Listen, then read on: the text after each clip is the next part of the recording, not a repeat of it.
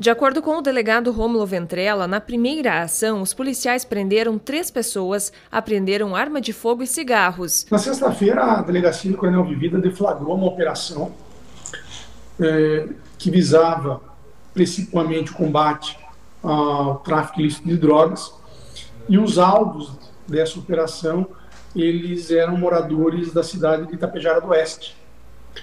Ah, foram cumpridos três mandados de busca e apreensão. Em um dos alvos, os policiais localizaram uma arma de fogo e munições, tendo o casal residente na casa recebido voz de prisão por conta disso. E no, na casa de um segundo alvo, que funciona um estabelecimento comercial, um bar, é, foram encontrados ali aproximadamente 2 mil maços de cigarros oriundos do Paraguai. Como se trata de um crime de, de competência da Justiça Federal, a dona desse estabelecimento, ela recebeu voz de prisão pelos policiais civis e foi encaminhada à delegacia da Polícia Federal em Guarapuava, onde foi autuada em flagrante pela prática do crime de contrabando. As apreensões foram em lugares distintos. A carga de cigarro foi localizada em um alvo, num estabelecimento comercial, e a arma de fogo e munições foram localizadas, foram encontradas em outra casa, em outro imóvel.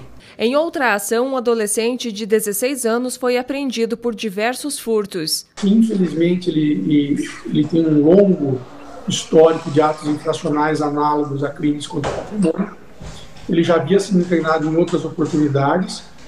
Ele tinha voltado recentemente de uma internação para cumprimento de medida socioeducativa, mas tão logo ele voltou às ruas, ele, ele começou a praticar furtos e, no caso, o representante do Ministério Público, outra vez, é, representou pela internação dele e a Polícia Civil foi ao encalço desse adolescente, efetuou a captura dele e fez o encaminhamento dele CENSE de Laranjeiras do Sul. Dias 13 e 9 de maio, dois homens foram presos por estupro de vulnerável, um deles de 52 anos.